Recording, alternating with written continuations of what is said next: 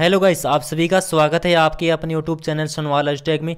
दोस्तों, आज हम बात करनी सिक्योरिटी यूनिवर्सिटी एग्ज़ाम 2021 की, जो आज की सबसे बड़ी इम्पोर्टेंट खबर है आपके लिए। आपका एग्ज़ाम होगा या नहीं होगा, जो न्यूज़पेपर में खबर आ चुकी है यूनिवर्सिटी ने जारी कर दिया गया है। आदेश की प्रमोट ही होंगे लास्ट बार स्टूडेंट एग्ज़ाम होगा या नहीं होगा प्रैक्टिकल एग्ज़ाम का भी नोटिफिकेशन आ चुका है और कई स्टूडेंटों ने एग्ज़ाम की मांग की है। जब प्रमोट के नोटिफिकेशन जारी हो गया है, उसके बाद में कई स्टूडेंटों ने प्रमोट की मांग की है।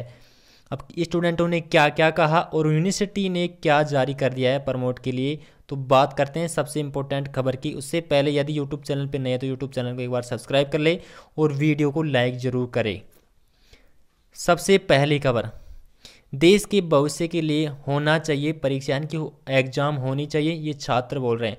जो भी क्या क्या छात्र कह रहे हैं, वो सभी को आपको बताऊँगा एक एक स्टेप बाय स्टेप उससे पहले देख लेते हैं यूनिवर्सिटी ने क्या कह दिया स्टूडेंटों के लिए। कोरोना की दूसरी लहर को देखते हुए सरकार ने बोर्ड विश्वविद्यालयों की परीक्षा स्थगित करके विद्यार्थियों को अगली कक्षा में प्रमोट करने का फैसला किया है। आपके लिए ये सबसे बड़ी इम्पोर्टेंट चीज़ है कि आपको प्रमोट करने का फैसला लिया है, जो आज के न्यूज़पेपर की खबर है, जो सीकर भास्कर के अंदर आई, यानी कि सीकर पत्रिका, जो राजस्थान पत्रिका के अंदर है, एग्ज़ाम न्यूज़पेपर, उसके अंदर आज की अपडेट है। बिल्कुल भी राइट अपडेट है, ये आप न्यूज़पेपर में देख भी सकते हैं, प्रमोट करने का फैसला ले लिया है। सरकार के इस फैसले से छात्र वर्ग में बेचैनी हो रहे हैं कि इस फैसले से, प्रमोट के फैसले से छात्र परेशान हो रहे हैं। क्यों परेशान हो रहे हैं? क्योंकि प्रमोट में 36 परसेंट ही मार्क्स ऐड होते हैं। ये आपके लिए बिल्कुल ही निंदनीय बात है कि एग्ज़ाम में 36 परसेंट अंक आपको दिए जाएँगे। मार्कशीट में भी 36 परसेंट परसेंटेज अंक जुड़ेंगे।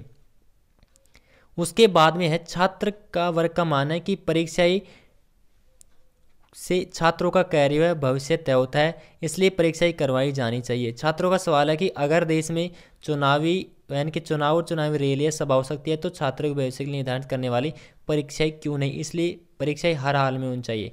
छात्रों का सही कहना है क्योंकि जो भी एग्ज़ाम हो रहे हैं, उसके अंदर यदि स्टूडेंट एग्ज़ाम देते हैं तो कोविड नाइन्टीन यानी कि जो भी कोरोना आ जाता है, और जो चुनाव और रैलियाँ हो रही है, उसके अंदर कोरोना क्यों नहीं आता है?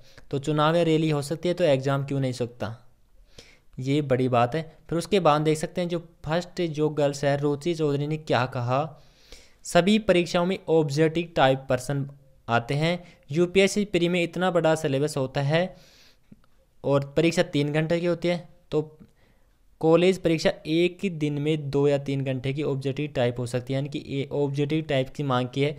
जो भी क्वेश्चन ऑब्जेक्टिव टाइप से भी क्वेश्चन आ सकते हैं, जो तीस तीस ऑब्जेक्टिव पर्सन दे सकते हैं एग्ज़ाम में, ये इन्होंने मांग की है।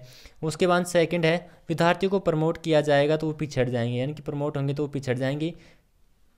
प्रमोट के जो सिस्टम से उन्हें कैसे समझ आया कि वह कौन सी शिक्षा ले रहे हैं, उनका पाठ्यक्रम क्या है, और विद्यार्थियों ने दो साल में क्या सीखा, इसलिए परीक्षाएँ हो तथा प्रमोट वाला सिस्टम न अपनाइए। पूजा वर्मा ने कहा है राजकीय कला महाविद्यालय की गर्ल्स ने। फिर उसके बाद तीसरी गर्ल्स है, जिनका नाम है पूजा चौमाल, जो राज के कॉमर्स गर्ल्स में पढ़ती है।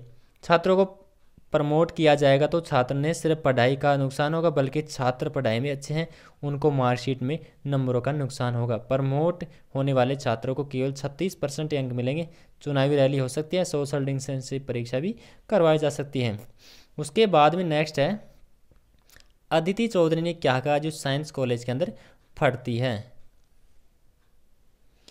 बिना परीक्षा के मूल्यांकन के नहीं हो पाएगा, खुद स्टूडेंटों को भी कॉन्फिडेंस कैसे आएगा?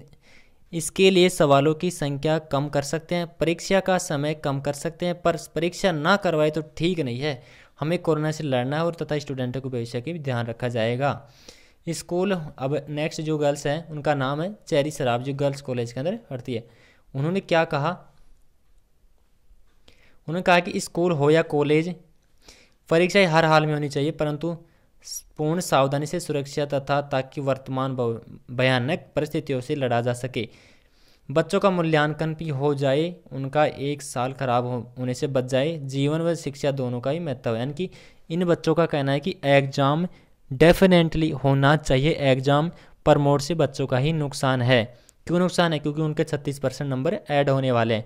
जो भी स्टूडेंट यानी कि फैल के लायक है, जो भी सोच रहे हैं कि मैं तो फेल हो सकता हूँ, उस स्टूडेंटों के लिए बहुत बड़ी खुशखबरी है एक तरह से। जो स्टूडेंट इंटेलिजेंट हैं, उनके लिए ये बेहद दुखद खबर है कि उनको प्रमोट किया जाएगा। तो ये है, जो विश्वविद्यालय निर्णय ले चुके हैं प्रमोट का अगली कक्षा में। जी फ्रेंड्स तो यहाँ पर देख सकते हैं जो सेकंड नोटिफिकेशन दे रखा है कि विश्वविद्यालय की बैठक 12 मई को। पंडित दीनदयाल उपाध्याय सिक्योरिटी विश्वविद्यालय की एकेडमिक काउंसलिंग की मीटिंग 26 अप्रैल से बढ़ाकर 12 मई प्रस्तावित की गई है। विश्वविद्यालय के जो शैक्षणिक उप कुल सचिव डॉक्टर रविंद्र कटेवा ने बताया कि कोविड 19 की नई गाइडलाइंस के तहत मीटिंग की तिथि में बदलाव किया जाएगा। यानी कि 12 तारीख को आपको कन्फर्म हो जाएगा कि आपको प्रमोट ही होना है या एग्ज़ाम होगा, या क्या होगा।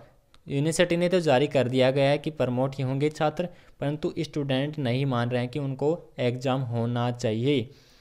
तो दोस्तों आई होप आपको वीडियो पसंद आए। तो वीडियो को लाइक करें चैनल को सब्सक्राइब करें और जो प्रैक्टिकल एग्ज़ाम है, वो भी डिसाइड होंगे 12 मई को। धन्यवाद।